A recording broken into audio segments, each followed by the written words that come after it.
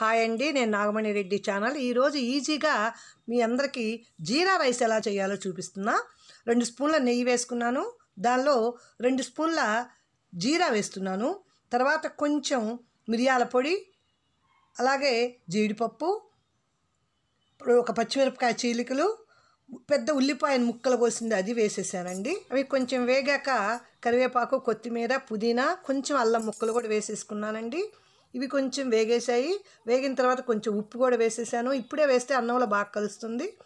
తర్వాత అన్నాన్ని వేసి అన్నం వేసి కలిపేసేయటమేనండి బాణల్లో. ఆల్రెడీ ఉడికించిన అన్నం ఇలా మిగిలిపోయిన అన్నాన్ని కూడా జీరా రైస్ చేసుకొని చాలా చక్కగా తినేయచ్చు.